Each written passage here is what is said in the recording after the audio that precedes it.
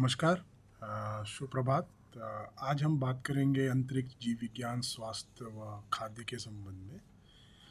इस व्याख्यान को की शुरुआत में सबसे पहले मैं यह एक चित्र दिखाना चाहूँगा। यह चित्र जो आप देख रहे हैं, ये वॉलरी पोलियोकॉफ, जो एक एस्ट्रोनॉट थे, उन्होंने करीब चार सौ सैंतीस दिन अंतरिक्ष में लगातार बिताए थे। उनके पास ये एक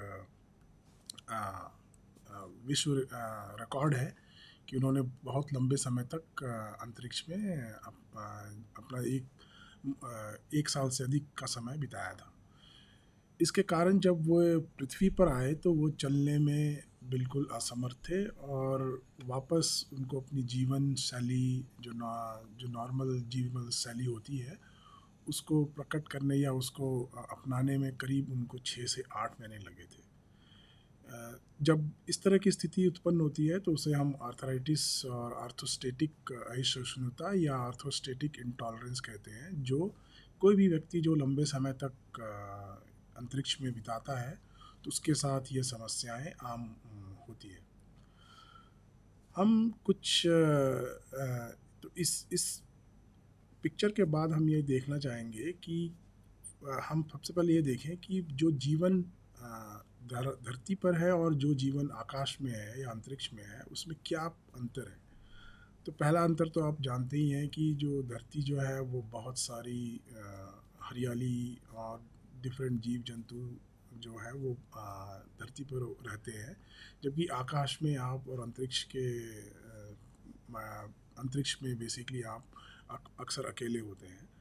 इसके अलावा भी बहुत सारी जो चुनौतियाँ हैं वो अ, होती हैं। जैसे कि अंतरिक्ष में जो जगह होता है वो काफ़ी तंग होता है क्योंकि आप का जो पूरा दिनचर्या है वो बहुत सीमित स्थान में ही व्यतीत किया जाता है।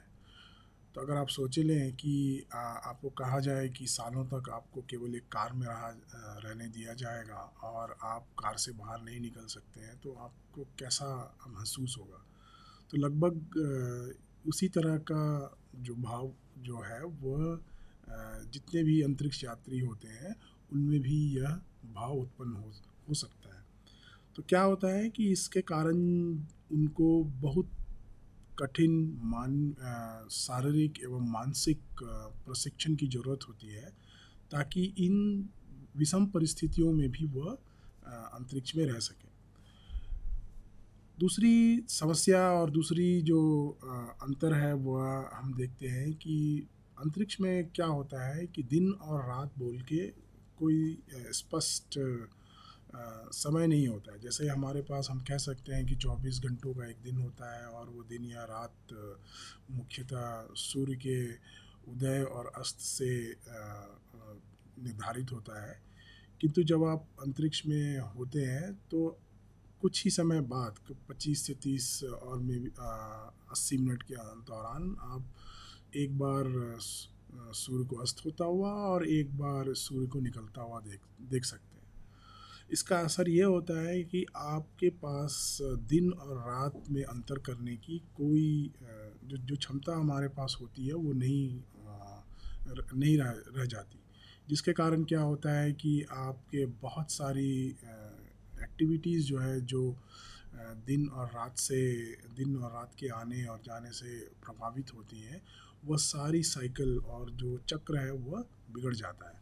जैसे कि रात में आते ही हमें एक नींद आ, नींद आना स्वाभाविक होता है, किंतु आप सोचें कि हर चालीस मिनट में और पचास मिनट में दिन और रात हो रहा है तो आप आप आप मानसिक रूप से काफ़ी कंफ्यूज होंगे और आपको लगेगा कि अब मुझे सोना चाहिए कि नहीं। तो एक विषम परिस्थिति बनी होती है। इसके अलावा और भी चुनौतियाँ हैं जैसे कि अगर आप स्पेस में किसी भी वश किसी भी कारणवश बाहर जाते हैं मुख्यतः आपने सुना होगा कि बहुत सारे एस्ट्रोनॉट्स स्पेस स्टेशन पर और इंटरनेशनल स्पेस स्टेशन पर जाते हैं वो विभिन्न प्रकार के अ, अ, कार्यों को अंजाम देते हैं, जैसे हबल टेलीस्कोप को ठीक करना इत्यादि। जब यह सारे कार्य किए जाते हैं तो यह एक व्यवस्था बना के रखनी पड़ती है कि आप किसी भी हालत में जिस स्पेस स्टेशन से आप जुड़े हुए हैं, आप अपने आप को उससे मुक्त नहीं कर सकते। क्योंकि एक बार अगर आप उस स्पेस स्टेशन से मुक्त अपने आप को किया तो फिर दोबारा दोबारा कोई संभावना नहीं होती है कि आप वापस अपने स्पेस स्टेशन पर जा सकें। तो यह एक बहुत बड़ा जोखिम होता है और लगभग हम कह सकते हैं कि जान जाने की नौबत होती है। जैसा कि मैंने कहा कि कोई सूर्य और दिन और रात नहीं होता है, इस तरह से कोई टाइम कीपर नहीं है हमारे जीवन में।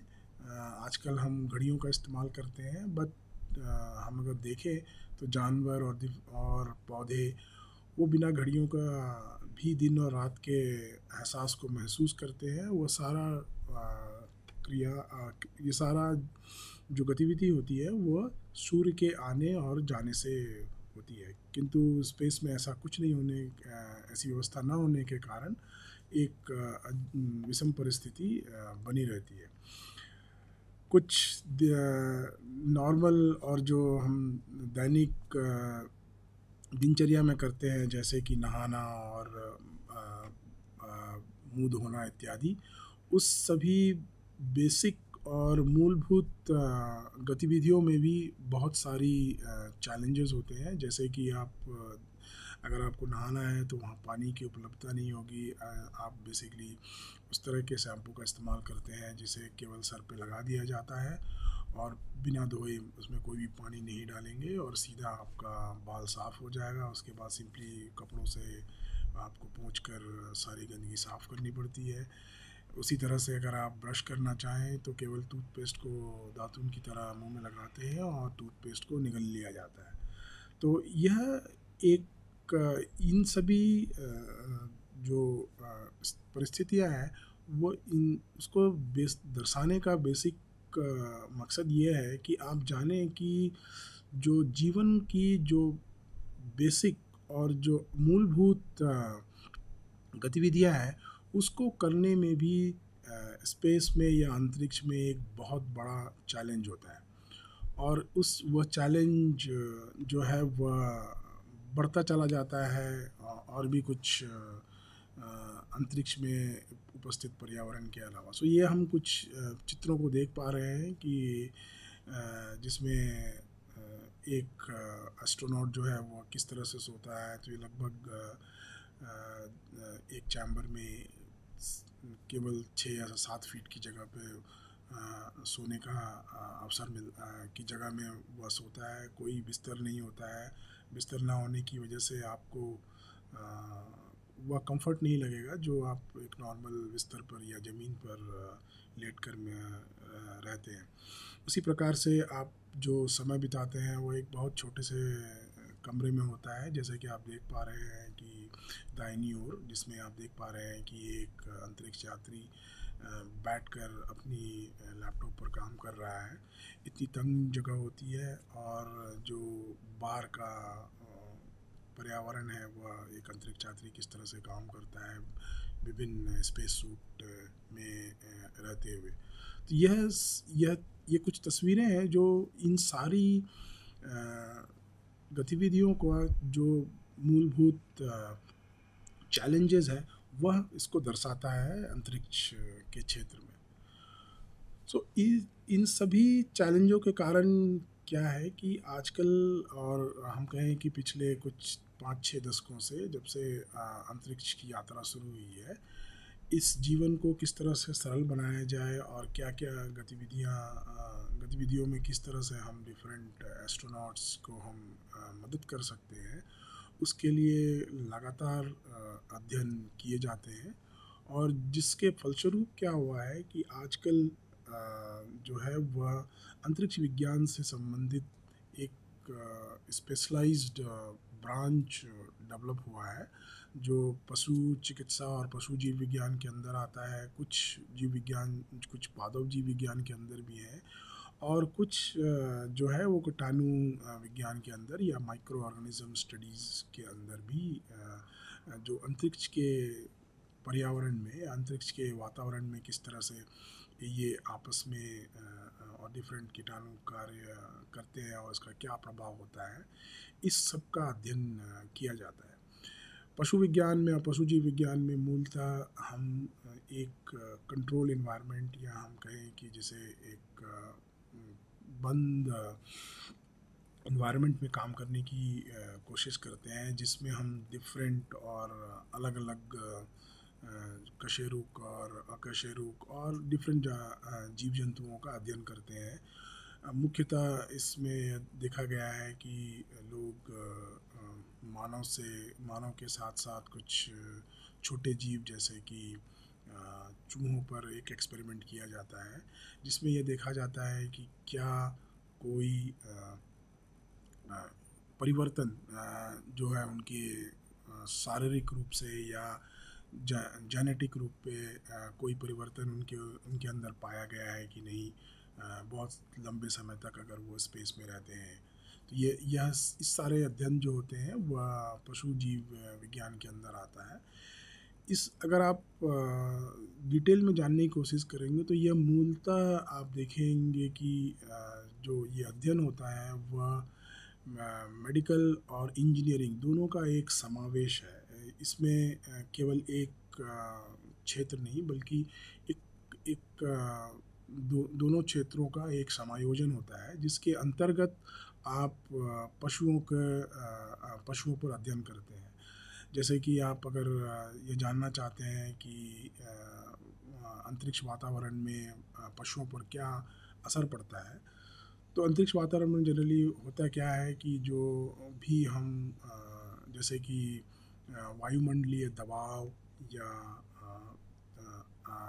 ऑक्सीजन की जो कंसंट्रेशन है, वह जो नॉर्मल धरती पर होती है, वह काफ़ी ज़्यादा होता है अंतरिक्ष विमान में या हम कहें स्पेस स्टेशंस में, जिसके कारण क्या होता है कि उन सब जीव जंतुओं पर एक नकारात्मक असर पड़ता है। उन सब चीज़ों के अध्ययन करने की आवश्यकता होती रहती है और वह वह जो है वह पशु जीव विज्ञान के अंदर किया जाता है। उसी प्रकार पादव जीव विज्ञान भी है, क्योंकि जो मानव जो है वह केवल जीव से ही प्रभावित नहीं होता है, किंतु अगल बगल जो डिफरेंट पेड़ पौधे होते हैं, उनका भी काफ़ी मानसिक असर मनुष्यों के जीवन पर पड़ता है।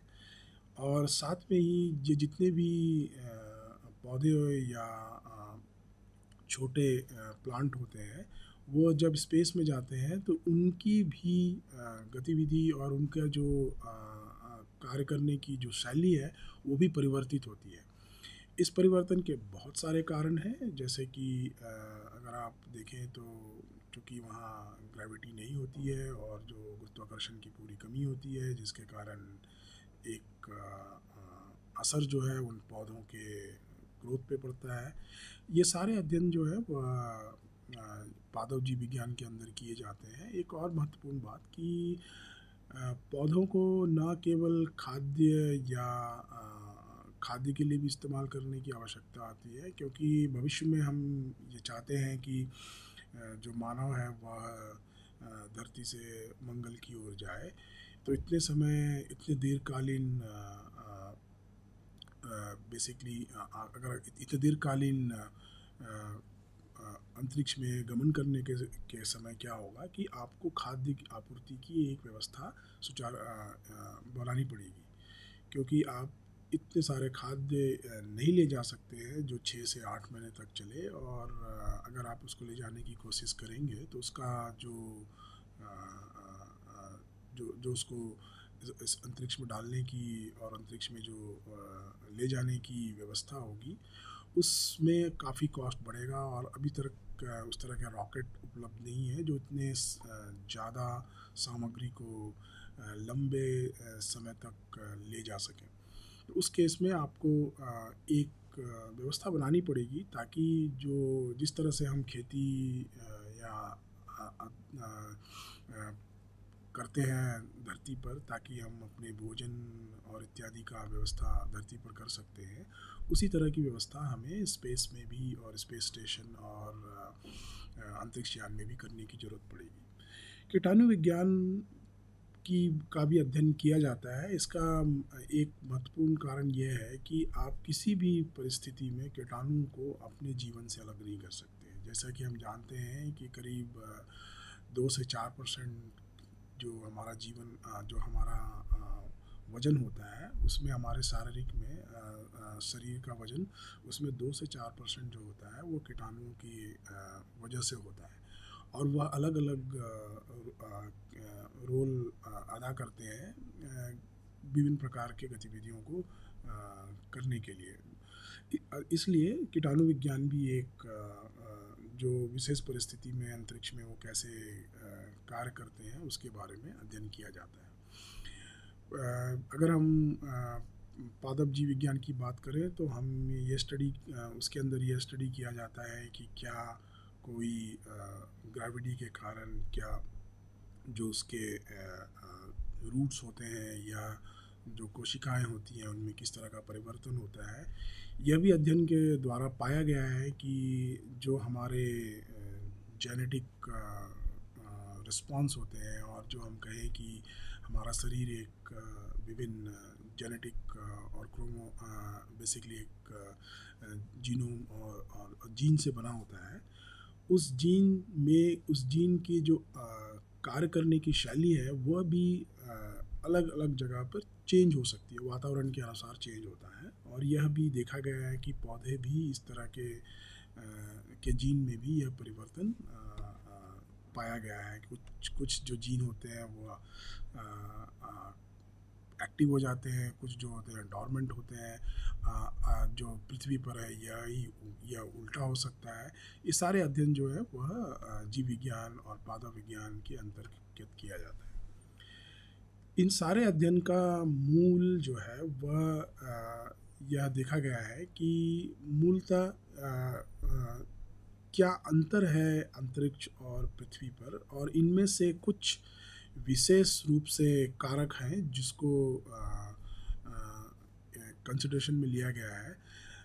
जैसे कि उनमें से कुछ कारक जो मुख्यतः पाँच भागों में बांटे गए हैं। पहला ये कि अंतरिक्ष में जैसा कि हम जानते हैं कि जो गुरुत्वाकर्षण होता है वो काफ़ी कम होता है और हमें भारिनता की का अनुभव होता है।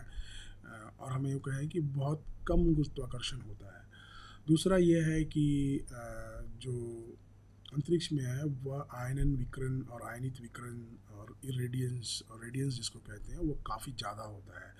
हमारे ऊपर कोई भी ओजोन जैसा लेयर नहीं होता है। इस, इस जिसके कारण क्या होता है कि जो भी विकरण और हानिकारक विकरण जो सूर्य से निकलती है वह सीधे जो भी वस्तुएँ अंतरिक्ष में होती हैं, उन पर पड़ती हैं। और इनमें से यह देखा गया है, उनमें बहुत सारे विकिरण जो होते हैं, वह मानव के लिए हानिकारक होते हैं और कुछ केसों कुछ केसों में तो वह मृत्यु के कारण भी हो सकते हैं। और दिन और रात ना होने के कारण स्कैडियन का जो एक सिस्टम होता है, जो हमारे शरीर में एक समय का कालचक्र को रखने का जो तरीका होता है, वह प्रभावित होता है और उसके लय में पर वह लय खराब हो जाता है, जिसके कारण लोगों को बहुत सारी समस्याएँ होती हैं, जैसे कि वो सो नहीं पाते हैं और कब दिन और रात का कोई जो ट्रैक है वो नहीं रख पाते हैं। इसके अलावा वहाँ पर यह भी देखा गया है कि जैसे कि सी ओ टू है या जो कार्बन डाइऑक्साइड है, वो पृथ्वी के मुकाबले स्पेस स्टेशन वगैरह सब में लगभग दस गुना होता है। और वायुमंडलीय दबाव भी काफ़ी ज़्यादा होता है स्पेस स्टेशन में और जैसे कि अर्थ के मुकाबले।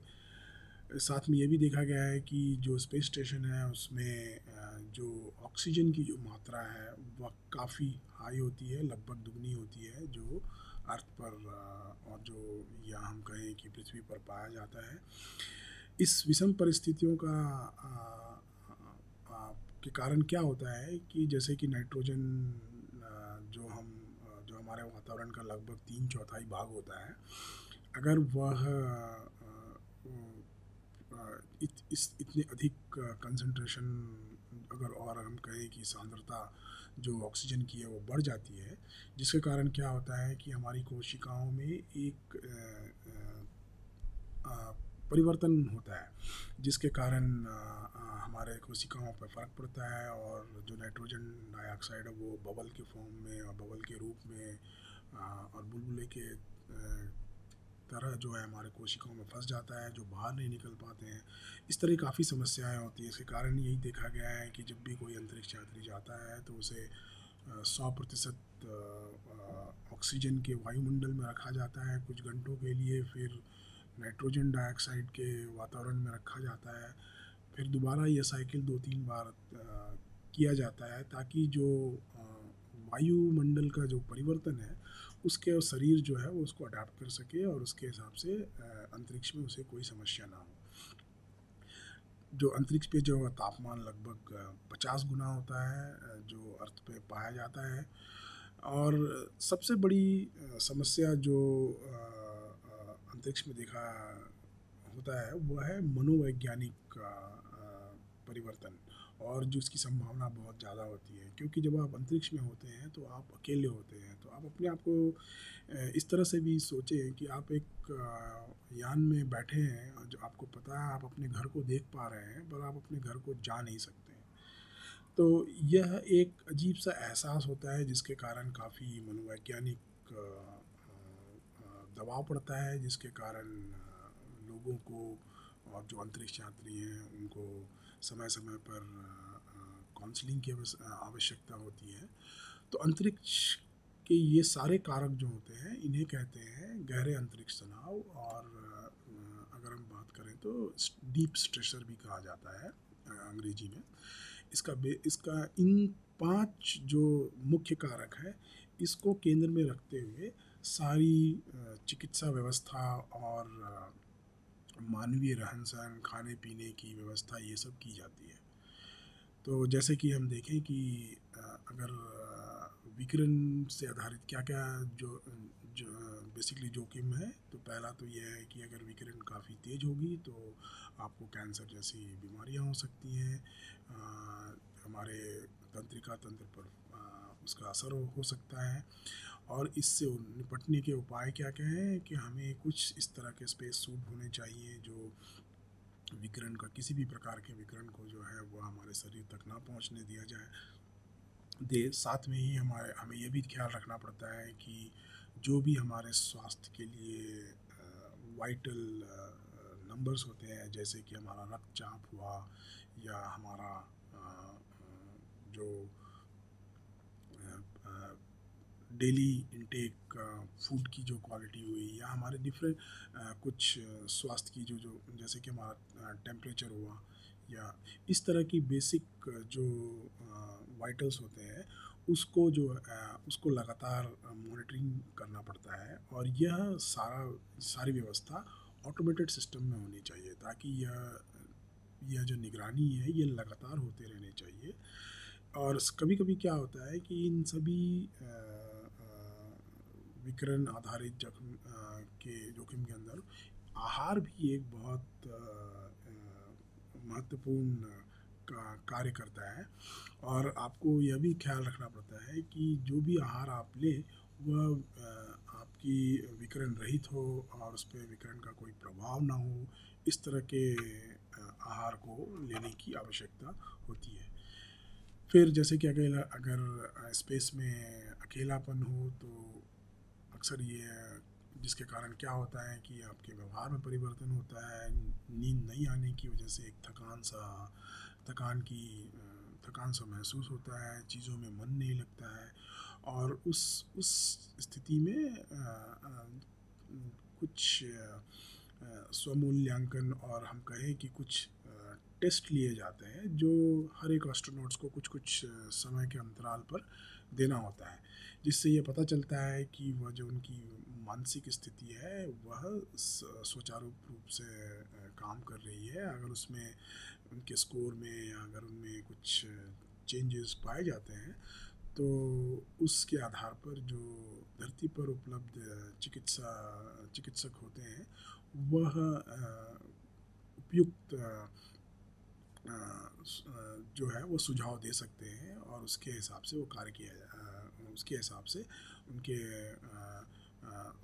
स्वास्थ्य को ठीक किया जा सकता है। इसके अलावा कुछ आभासीय वास्तविकता या वर्चुअल रियलिटी के सिस्टम भी दिए जाते हैं ताकि उन्हें यह महसूस हो सके कि वह अकेले नहीं हैं, वह पृथ्वी पर उपलब्ध हैं। कुछ कुछ केसेस में ये भी पाया गया है कि जैसे पौधे जो होते हैं या छोटे पौधे जो होते हैं, वह अगर मानव के साथ रहें तो एक हरियाली की एक अलग इफ़ेक्ट जो होता है वो मानव पे पड़ता है। तो ये छोटी छोटी क्रियाएँ जो दिनचर्या का हिस्सा होती है, जो हमें अकेलेपन से जो है वह लड़ने में मदद करता है। कभी कभी क्या होता है कि जब आप बहुत दूर हो तो उसके अपने घर से अगर बहुत दूर होते हैं तो आपके पास बहुत सारी चुनौतियाँ भी होती हैं। जैसे कि यह हो सकता है कि जो आपके पास दवाएँ हैं, वह प्रभावी ना हो, आपके पास कोई नई दवाएँ आने में काफ़ी समय लग सकता है। जो भी भोजन इत्यादि आपके पास उपलब्ध होते हैं, उनको एक सही तरीके से अपने पास रखने की चुनौती होती है। आप किसी भी खाद्य को वेस्ट नहीं कर सकते हैं, आपको उसका एक प्रॉपर इस्तेमाल करना होगा। क्योंकि उस उस, अगर उसमें कमी होगी तो आपके उसका असर जो होता है वो काफ़ी लंबा हो सकता है। ये भी हो सकता है कि जो भी आपको देखभाल के लिए उपकरण दिए गए हैं या जो मॉनिटरिंग सिस्टम आपके स्पेस में अवेलेबल है, वो कार्य न करे। उस सब केसेस में क्या किया ये सारी जो है चुनौतियाँ दूर होने के कारण आ सकती हैं। तो इस, इसको देखते हुए हमें यह यह देखा गया है कि कुछ स्पेशल प्रकार के और कुछ, खाद्य और दवाओं की पैकेजिंग की जाती है। दवाएँ इस तरह से बनाई जाती हैं जिसकी एक्सपायरी काफ़ी लंबी हो और उस उस तरह की दवाइयों को बनाया जाता है। कुछ वर्चुअल असिस्टेंट होते हैं जिसको हम आवासी सहायक कहते हैं। साथ ही साथ जो दैनिक रूप से आपको डिफरेंट डिसीज़न लेने में और जिसमें एआई का इस्तेमाल भी किया जा सकता है, जो आपको ये मदद या आपको ये सूचना दे सकता है कि आप इस इस परिस्थिति में किस तरह के आप निर्णय ले सकते हैं। तो इस तरह से वर्चुअल असिस्टेंट जो है वह वह भी जो है वह दूर होने से, पृथ्वी से दूर होने की जो संबंधित चुनौतियाँ हैं, उनमें यह मदद कर सकता है। यह भी देखा गया है कि जब आप माइक्रोग्राविटी कंडीशन में या हम कहें कि सूक्ष्म गुरुत्वाकर्षण स्थिति में रहते हैं तो उसका प्रभाव हमारे शरीर पर पड़ता है। जैसे कि हमारे मांसपेशियों का द्रव्यमान कम हो जाता है क्योंकि गुरुत्वाकर्षण न होने के कारण हमारी मांसपेशियों को बहुत ज़्यादा मूवमेंट करने के लिए बहुत ज़्यादा मेहनत करने की ज़रूरत नहीं पड़ती है। और शरीर में ये व्यवस्था है कि कोई भी चीज़ जिसकी जिसका इस्तेमाल आप नहीं करेंगे या जिसकी, जिसका इस्तेमाल दिनों दिन घटता जाता है तो उसका धीरे धीरे शरीर से त्याग कर दिया जाता है। इसके कारण क्या होता है कि आपकी मांसपेशियों का द्रव्यमान कमी में कमी होती है और हड्डियों की हानि होनी शुरू हो जाती है। प्रतिदिन कुछ एमजी के हिसाब से और मिलीग्राम के हिसाब से डिफरेंट uh, हड्डियों का हांस होना शुरू हो जाता है जिसके कारण कुछ ही समय बाद बहुत सारा जो हड्डी से हड्डियों का जो मांस है या जो उसका द्रव्यमान है वह घटता चला जाता है। इसके अलावा ये भी पाया गया है कि जो भी ऑर्गन हमारे शरीर में होते हैं जैसे कि एक हृदय है इसका शेप जो है वह भी विकृत हो जाता है। इसका मुख्य कारण यह है कि अगर हम इस अंतरिक्ष में देखें तो ग्रेविटी न होने के कारण द्रव्य जो है वो समान रूप से एक बॉल की शक्ल में फैलने की कोशिश करता है, जिसके कारण वह एक गोल बॉल के फॉर्म में बॉल के बॉल के फॉर्म में जाने की कोशिश करता है जिसके कारण जितने भी हमारे अंग हैं वह भी एक स्फेरिकल या बॉल के फॉर्म में शेप ले, लेने के कारण उसका आकार जो होता है वो भी विकृत होता है। इस आकार विकृत के कारण जो हमारी धमनियों में जो रक्त प्रसारित होते हैं वह सब भी प्रभावित होते हैं। तो यह एक एक एक छोटा सा एग्ज़ाम्पल है जिसमें यह पता चलता है कि अंतरिक्ष में भारहीनता के कारण हमारे जो जो अंग हैं, वह किस तरह से विकृत होते हैं। साथ में ये भी जैसे कि हम जानते हैं कि जब भी हम चलते हैं या हम, हमें सीधा रखने के लिए हमारे कानों के पीछे एक कुछ द्रव्य होते हैं और कुछ बालों के सिस्टम होते हैं जिससे हमें यह अपने आप को संतुलित करके दो पैरों पर चलने में सुविधाएँ होती हैं। उसमें कभी गड़बड़ी होने के कारण हमें चक्कर आता है और हम गिर जाते हैं। क्योंकि इन इन, इस इस कार्य में जो द्रव्य जो है, उसमें गुरुत्वाकर्षण का एक बहुत बड़ा योगदान है। अगर वह गुरुत्वाकर्षण नहीं होगा तो हम जो दिशा की और जो हमारा अपना जो सेल्फ बैलेंसिंग सिस्टम है, जो अपने आप को हम संतुलित कर पाते हैं और दो पैरों पर चल पाते हैं, वह नहीं हो पाएगा और जिसके कारण जो है हमें हमें चक्कर सा आ सकता है। क्योंकि अंतरिक्ष में यह गुरुत्वाकर्षण की कोई संभावना नहीं है तो जिसके कारण यह संभावना यह परिस्थिति उत्पन्न होती है। और उस स्थिति में आपको एक जो जो जो आपके जो बेसिकली इसको न्यूरोवेस्टिबुलर सिस्टम्स कहते हैं वह प्रभावित होता है।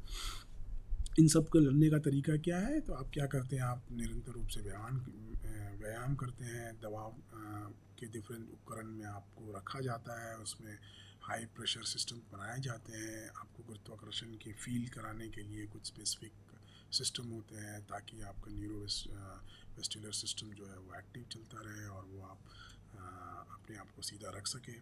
और अपने आपके जित आपके जितने भी ज्ञानेंद्रियाँ हैं या जितने भी मोटर रिलेटेड और जिसे हम कहें कि हाथ पैर चलाने की जो क्षमता है उसका लगातार टेस्ट किया जाता है।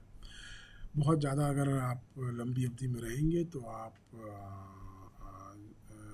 उसके अलावा बहुत सारे दूसरी समस्याएँ भी होती हैं क्योंकि आपके वातावरण में आप लगातार रह रहे हैं और वो वातावरण काफ़ी बदलाव नहीं, बदला नहीं जा रहा है। तो बहुत सारे धूल इत्यादि के कण वहाँ जमा होते हैं। बहुत समय तक अगर आप एक सक्रिय क्षेत्र में रहते हैं तो वहाँ प्रदूषण की समस्याएँ बढ़ जाती हैं। इन सबको देखते हुए आपको एक नियमित सफ़ाई और एयर फ़िल्टर की ज़रूरत होती है, ताकि आप वायु इत्यादि की गुणवत्ताएँ बनाए रख सकें। नियंत्रण और समय समय पर आपका टीकाकरण करने की आवश्यकता होती है और टेम्परेचर कंट्रोल सिस्टम की आवश्यकता होती है जो इस तरह के दबावों को और इस तरह के तनावों को कम करने में सहायक होते हैं। यह एक आ, आ, मैं कहूँ कि एक सार है जो अंतरिक्ष चिकित्सा में इस्तेमाल किया जाता है तो इसके दो प्रमुख भाग हैं। एक है कि जो एक्सपेरिमेंटल मॉडल और जो अंतरिक्ष चिकित्सा के अंदर जो होता है, वो एक्सपेरिमेंटल मॉडल और या जो आप दाई से, दाई और देख पा देख पा रहे हैं, जो नीले नीले और जो पीले कलर में दर्शाया गया है और जो नीले कलर में दर्शाया गया है नीले रंग में दर्शाया गया है, वह जो है वो फिजियोलॉजिकल और जो और और उसके वातावरण से रिलेटेड जो भी एक्टिविटीज़ है उसको दर्शाते हैं। तो अगर आप देखें, वो पाँचों कारक जो अंतरिक्षीय तनाव है, जैसे कि रेडिएशन और न्यूनतम गुरुत्वाकर्षण या ग्रेविटेशन उसके बाद एक हॉस्टाइल इन्वायरमेंट जो है, जो छोटे कन्फाइंड एरिया या स्मॉल जो तंग क्षेत्र हैं उन उन सब कारण से जो भी समस्याएँ उत्पन्न होती हैं जैसे कि अगर आप एक छोटे से बंद जगह में रहेंगे तो आपका मूड ख़राब हो सकता है आपका कैरकेडियन रिदम ख़राब हो सकता है फिटनेस में कमी आ सकती है न्यूट्रिशन आपको प्रॉपर नहीं मिल सकता है। इन सबको विभिन्न प्रकार के हेल्थ मॉनिटरिंग सिस्टम से लगातार हेल्थ मॉनिटरिंग सिस्टम से आ, सारे चीज़ों को धरती पर प्रसारित किया जाता है जिसके आधार पर फिर जो धरती पर उपस्थित चिकित्सक हैं वह इन्वायरमेंट में बदलाव करने की सम, आ, की आपको सजेस्ट कर सकते हैं और उसके हिसाब से कार्य किया जाता है। कुछ एक्सपेरिमेंटल होते हैं जिसमें मुख्यतः बायोलॉजिकल या जीनोटिक और जिसे अनुवांशिक के अध्ययन अध्ययन को जो पार्ट होता है वो एक्सपेरिमेंटल मॉडल के अंदर आता है। इसमें विभिन्न प्रकार के जीवों को मुख्यतः हाई रेडिएशंस या माइक्रोग्रेविटी के अंदर उन पर क्या प्रभाव पड़ता है, उसका अध्ययन किया जाता है।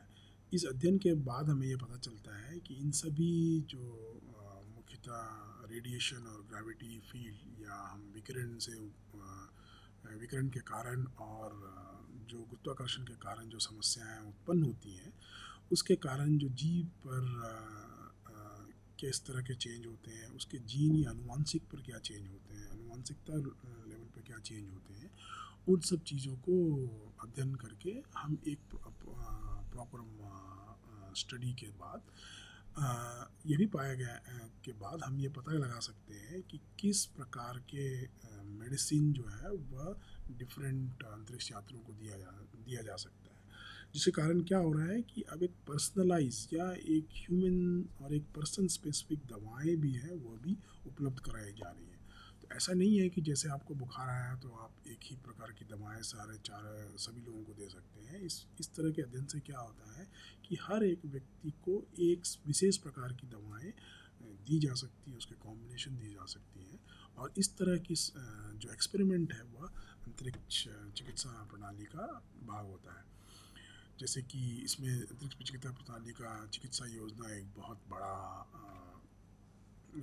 भाग होता है, जिसमें हर समय पर, किस समय पर क्या लेना है, क्या करना है, उसकी एक डिटेल सारणी होती है और उस सारणी को एक प्रॉपर तरीके से फॉलो किया जाता है। ताकि आप अपने स्वास्थ्य का इस्तेमाल का कार्य कर सकें। इसके अलावा जो है, टेलीमेडिसिन का उपलब्ध दिया जाता है। टेलीमेडिसिन में जैसे कि कुछ इंस्ट्रूमेंट जो होते हैं, वह अंतरिक्ष में दिए जाते हैं, जिससे मेज़रमेंट आप ले सकते हैं और उन सारे मेज़रमेंट को दूर स्थित धरती पर भेजा जाता है, जहाँ पे विशेषज्ञ उन सभी मानकों को अध्ययन करते हैं और उसके हिसाब से फिर जो विशेष परिस्थिति उत्पन्न हुई है, उसके हिसाब से जो अंतरिक्ष पर बैठ, अंतरिक्ष में उपलब्ध दूसरे व्यक्ति होते हैं, उनको क्रियान्वयन करने के लिए और क्रियान्वित करने के लिए सुझाव दे सकते हैं।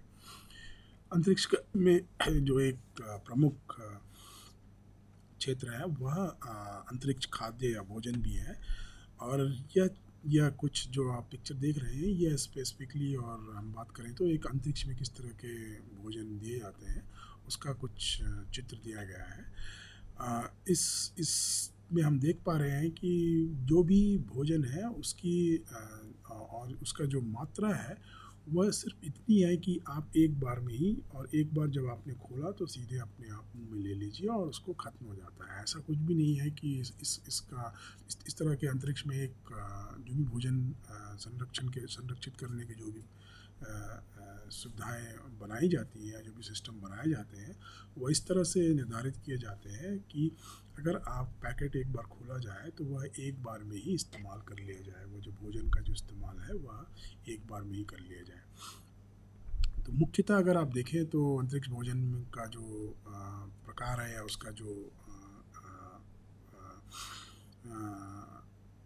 जो बेसिकली हम देखें तो अंतरिक्ष भोजन के अंदर मुख्यतः यह देखा गया यह देखा गया है कि उसमें जो भी भोजन आप अंतरिक्ष पर ग्रहण करें या जो भी भोजन अंतरिक्ष के लिए, अंतरिक्ष में कंज्यूम करने के लिए हो, उसका घनत्व तो उच्च होना चाहिए और न्यूट्रिशियस काफ़ी न्यूट्रिशियस होना चाहिए और पौष्टिक होना चाहिए।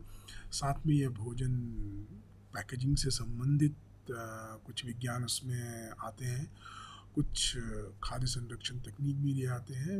भोजन पैकेजिंग का मतलब यह होता है कि जैसे अब मैं एक बात करूँ तो अगर आपने देखा होगा कि कोको कोला वगैरह सब जो होते हैं वो एक कैन में दिए जाते हैं। पर यह कैन जैसे ही आप खोलते हैं तो उसमें एक बबल या बनते हैं जिसके कारण जो जो कार्बन डाइऑक्साइड उसमें रहता है वो बाहर निकल के आता है। पर अंतरिक्ष में ऐसा नहीं किया जा सकता। आपके भोजन की जो भी जब भी आप खोलें तो इस तरह के बबल्स नहीं निकल, निकलने चाहिए, क्योंकि अगर बबल्स निकलेंगे तो जो भी छोटे छोटे जल के कण हैं वह वातावरण में फैल जाएँगे, जिसका असर जो होता है, वो बाद में आपके पर्यावरण पर पड़ता है। तो इस तरह से आपको एक पैकेजिंग में भी एक विशेष प्रकार की व्यवस्था करनी पड़ती है। खाद्य संरक्षण इस तरह से होना चाहिए कि वो लंबे अवधि तक रहे। और वह लंबे तक, अधिक अवधि तक रहे। तो मूल्यता अगर देखा जाए तो अंतरिक्ष भोजन के जो मानक हैं, वह सर्वप्रथम यह है कि भोजन क्रिस्पी नहीं होना चाहिए, या किसी प्रकार का क्रिस्प, ऐसा भोजन नहीं होना चाहिए कि आप तोड़ें और उसके बहुत सारे टुकड़े जो है, वह अगल बगल फैल जाएँ। तो पहला तो यह कारण है, क्योंकि अगर टुकड़े फैल जाएँगे तो वो अंतरिक्ष यान में इधर उधर फैलते रहेंगे, जिसका नुकसान जो है, वह किसी इंस्ट्रूमेंट के रूप में या हो सकता है किसी इंस्ट्रूमेंट में छोटे भोजन के कन जा सकते हैं, जिसके कारण इंस्ट्रूमेंट काम करना बंद कर सकता है अतः भोजन जो है वो क्रिस्पी नहीं होने चाहिए, वह हल्के होने चाहिए और टुकड़े नहीं होने चाहिए। अंतरिक्ष में जितने भी भोजन है, वह अंतरिक्ष यान के अंदर ही तैयार किए जाने चाहिए। बहुत कम समय में तैयार किए जा सकते हैं और उसे खाने में भी बहुत ज़्यादा मशक्क़त न करनी पड़े, इसकी भी देखनी चाहिए साथ ही साथ भोजन का संरक्षण काफ़ी लंबे समय तक होना चाहिए। उसमें उपयुक्त पौष्टिक आहार होना चाहिए और जो जो अंतरिक्ष में जो भोजन ले आते हैं, उसमें रेफ्रिजरेटेशन की या उसको किसी भी तरह से फ्रिज में रखने की ज़रूरत नहीं होनी चाहिए। या यह एक तो यह बेसिक चार प्रथम मानक है जो किसी भी अंतरिक्ष भोजन से अंतरिक्ष भोजन में इन मूलतः इन चार मानकों का इस्तेमाल किया जाता है कि अब कोई भी भोजन वो अंतरिक्ष में ले जाया जा सकता है या नहीं, या उसका जो उपयोग है वो अंतरिक्ष में किया जा सकता है कि नहीं। अब जैसे ये हम देख रहे हैं कि अंतरिक्ष में परीक्षण तकनीक एक बहुत बड़ा पार्ट होता है। तो उसमें अगर हम देखें तो यह एक ट्यूब आधारित पैकेजिंग है। यह काफ़ी पुरानी तकनीक है। इसमें भोजन को ट्यूब के फॉर्म में रखा जाता है और जो खाना जो होता है वह एक सेमी लिक्विड फॉर्म में होता है। ना कि वो पूरे द्रव्य होता है, ना ही क्रिस्पी होता है, बट वह जो जो भी खाद्य पदार्थ है वह ट्यूब के फॉर्म में होता है और उस ट्यूब के अंदर सेमी सॉलिड फॉर्म में होता है और उसका इस्तेमाल जैसे हम पेस्ट वगैरह के फॉर्म में करते हैं पेस्ट फॉर्म में होता है और उसका इस्तेमाल किया जा सकता है। साथ ही साथ आप देखें तो इसमें यह एक वाइट स्पेसिफिक और हम कहें कि एक ही आहार में एक ही निवाले में जिस भोजन का इस्तेमाल कर सके, उस तरह की पैकेजिंग इसमें दिखाई गई है। कुछ कुछ अतिरिक्त तरीके हम देख सकते हैं, जैसे कि जो भी पीने के लिए सामग्री है, उसमें मूलतः जिसको निर्जलीकृत भोजन करने के बाद उसमें पानी मिलाकर फिर उसे इस्तेमाल में लिया जा सकता है। इस तरह के पैकेजिंग का व्यवस्था की गई है। अगर आप देखें तो आजकल आप देखते हैं कि बहुत सारे खाद्यों में हवा को निकाल दिया जाता है और उसे पूरा पैकेजिंग की जाती है, इस तरह की पैकेजिंग की जो विकास है, वो पहले अंतरिक्ष में भोजन देने के लिए किया गया था। वो धीरे धीरे अब धरती पर भी लंबे समय तक किसी भी भोजन को रखने के लिए इसी प्रकार के पैकेजिंग की व्यवस्था देखी जा रही है। यह एक छोटा सा एग्ज़ाम्पल है, जो अंतरिक्ष पे किस तरह का निर्जलीकृत भोजन होता है, जिसे छोटे छोटे सैचेट में रखा जाता है, जिसे हम कॉन्डीमेंट किट्स कहते हैं। इसमें एक स्पेसिफिक और हम कहें तो एक विशेष प्रकार से कुछ जैसे कि सुबह के नाश्ते के लिए या दोपहर में भोजन के लिए इस तरह के व्यवस्थित पैकेटों में रखा जाता है और उसे निर्जलित किया जाता है ताकि उसमें कोई किसी प्रकार की नमी ना हो। नमी निकालने से यह होता है कि भोजन जो है वो लंबे समय तक रहता है। अगर कुछ ये भी देखा गया है कि जब आप इस तरह की गोलियाँ अगर मुँह में ले तो आपको एक आइसक्रीम की आइसक्रीम की तरह फीलिंग वाला एक भोजन प्राप्त होता है। या यहाँ पर हम देख रहे हैं कि एक स्पेस प्रकार का मशीन है जिसमें जो भी भोजन हम पहले गर्म करके रखते हैं ताकि गर्म करने से हम जानते हैं कि भोजन में कि जिस, किसी भी प्रकार के कीटाणु इत्यादि हों, वो सब मर जाते हैं और उनके उनकी उनसे संबंधित रिस्क में कमी होती है। इस तरह के, और वापस जब हम उसे इस्तेमाल करना चाहें तो उसे पैकेजिंग में हम रिहाइड्रेट करके या उसे पुनः निर्जलन उसमें पुनः पानी डाल के, गर्म पानी डाल के वापस हम पेस्ट के फॉर्म में भोजन का इस्तेमाल कर सकते हैं। यह एक पुनर्जलीकरण दिखाया गया है, जिसमें एक विशेष प्रकार के इंस्ट्रूमेंट में धीरे धीरे पानी का जो है वह पैकेट में डाला जा रहा है और उस तरह से भोजन को एक सेमी लिक्विड फॉर्म या पेस्ट के फॉर्म में चेंज किया जा रहा है।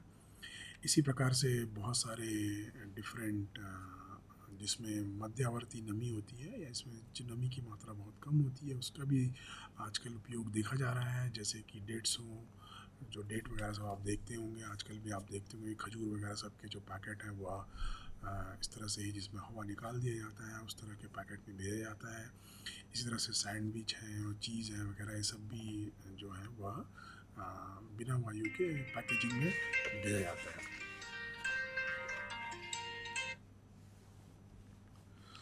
उसके बाद ये भी दिखाया गया है कि जो अंतरिक्ष में है वह स्पेस प्रकार की रसोई होती है। जैसे कि हम यहाँ देख रहे हैं कि यह एक ज़ीरो स्पेस ओवन है, जिसमें हम ओवन का इस्तेमाल जैसे धरती पे करते हैं, वैसे स्पेस पे भी हम कर सकते हैं। और यह रसोई आप देख रहे हैं कि जिसमें विभिन्न प्रकार के भोजन जो है वह अलग अलग जगह पर रखे गए हैं। और उस वह भोजन जो है, एक निश्चित समय पर लिया जाता है। और उसका इस्तेमाल जो है वह हम विभिन्न प्रकार के अंतरिक्ष यात्री जो हैं वह करते हैं। यह एक स्पेशल प्रकार का आप कहें तो भोजन की मेज है जिसका इस्तेमाल बहुत पहले नासा स्काई लैब ने किया था और इसमें अब काफ़ी परिवर्तन हो चुके हैं। इसमें आप देखेंगे कि जितने भी खाद्य पदार्थ हैं वह एक फिक्स स्टेशन पर रखे जाते हैं और इसमें गिरने की संभावनाएँ नहीं होती हैं। उस प्रकार से फिर आप देखें कि आजकल अब कुछ प्राकृतिक कृषि पोषण भोजन का भी इस्तेमाल किया जाता है। जैसे कि हम देख पा रहे हैं कि इसमें कुछ जूस वगैरह का इस्तेमाल जो है वो भी किया जाता है। आजकल जो है वो अंतरिक्ष में खेती करने की परियोजनाओं से भी अंतरिक्ष में खेती किस तरह से की जाए, उस संबंधित परियोजनाओं का भी अध्ययन किया जा रहा है।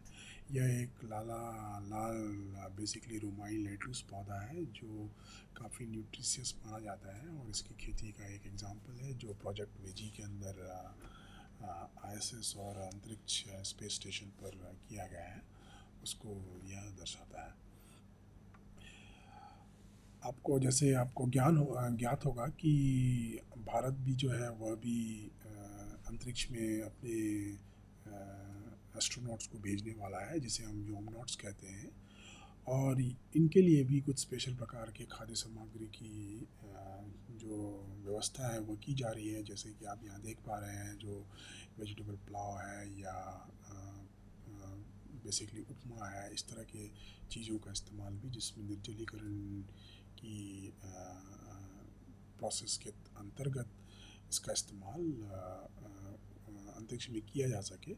उसके लिए उस तरह की योजनाएँ पर भी कार्य चल रहा है। आजकल आप देख रहे होंगे कि अगर आप किसी भी विमान पर अगर आप जाते हैं तो वहाँ पर इंस्टेंट फ़ूड का एक इंस्टेंट फ़ूड आप देख सकते हैं, जिसमें सिंपली आप गर्म पानी मिलाते हैं और वह भोजन जो है पाँच से सात मिनट में तैयार हो जाता है। इस तरह की जो व्यवस्था है भोजन में, वह अंतरिक्ष विज्ञान की इस तरह से अभी मैं आज अपनी चर्चा को विराम देता हूँ। अगर कोई प्रश्न हो तो आप हमसे ले सकते